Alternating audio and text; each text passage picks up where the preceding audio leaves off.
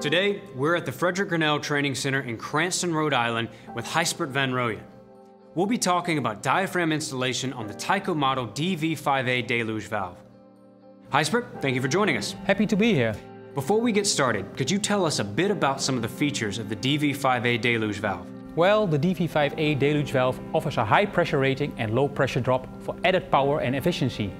This low pressure drop also means water travels farther at specified system pressure. The DV5A also has a small footprint thanks to a compact trim package that makes it easier to install and maintain. And how do you install the DV5A diaphragm? It's a four-step process, but before you begin you should remove the actuation trim. Once you've done this, the first step is to unscrew the valve cover bolts and nuts. The cover will hang on the thread ends at the top. Then remove the cover and the old diaphragm. I noticed the valve only has the diaphragm inside. That's right, there's only a single moving part within the valve. We designed it that way to make maintenance easier while increasing dependability. Next, place the new diaphragm with the ears on the pin to make sure it's positioned correctly. Finally, put the cover back in place by hanging it on the thread ends.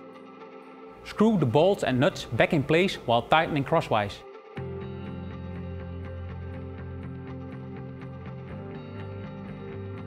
Apply the torque mentioned in the technical data sheet. The cover should be touching the body.